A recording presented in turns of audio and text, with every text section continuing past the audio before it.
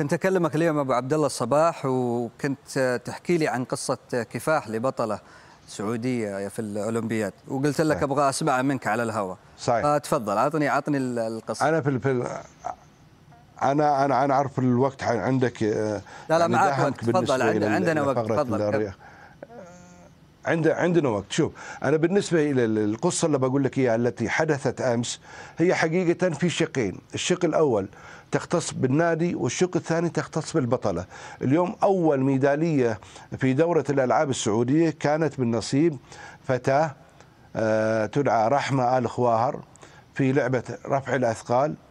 العمر 17 سنة. لك أن تتصور هذه الفتاة التي وصلت إلى تحدي المليون.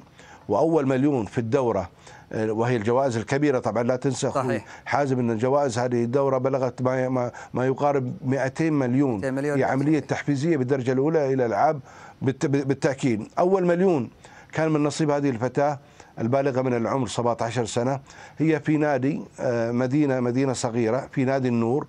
لك ان تتصور إن نادي النور يمتلك مثل هذه الألعاب رفع الأثقال وفي ال في ال في ال في ال في الجانب في الجانب النسائي أول وثاني هذا الشق اللي يخص النادي أول وثاني بالنسبة إلى الذهبيه والفضية هي اللي هو رحمة آل خواهر وثاني على لما خانتني الذاكرة ماريا السيهاتي صاحبة الذهبية والفضية. صاحبة الذهبية آه، رحمة كانت آه، والدها مدرب للعبة التايكواندو. عندما أرادت الاشتراك في في دورة الألعاب السعودية وهي تدد يعني أصل اللعبة أو منشأ اللعبة لديها التايكواندو الوزن الذي الذي يسمح لها بالمشاركة في هذه اللعبة التايكواندو ليس موجود. فاتجهت قبل شهرين أو شهرين ونص إلى لعبة رفع يعني الأثقال كانت زايده في الوزن قصدك ابو عبد الله؟ ما في أوزان. هو في لعبة التايكواندو هناك أوزان.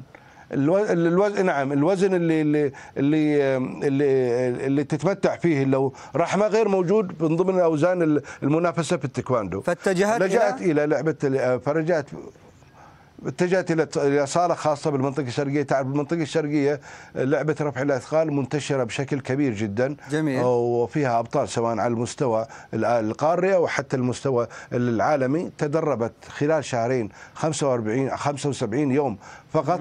في هذه اللعبة ونجحت هذه الفتاة بعزيمة وإصرار وحكاية غريبة بأن تحقق لنفسها مجد وأيضا لناديها نادي النور مجد بأن تحقق أول ذهبية في ذروة الألعاب السعودية. هذا يعطينا حقيقة اللي هو انطباع أن حتى الأندية أصحاب الدخل المحدود ستهتم بهذه الألعاب لأنها ستجلب عليه عليها عليه الأموال. وربما هذه الألعاب بالنسبة للأندية الجماهيرية والكبيرة لا تهتم فيها وبالتالي هذه الأندية الصغيرة فرصة لها حقيقة أن تهتم بهذه الألعاب وأن تدر بالنسبة إلى إلى إلى أنديتها الميزانيات وأيضا أن أن تدعم المنتخبات السعودية. وهذا يعكس أيضا أبو عبد الله الطموح اللي مشت وراه يعني اللاعبه اللي فازت بهذا بهذه الميدالية وطبعا يعني إن شاء الله طبعا نعم. طبعا فتعكس طموح كبير طبعا كنت معي من الرياضة صاحب الرياضي عيسى الجوكم. شكرا جزيلا لك على كل هذه المعلومات.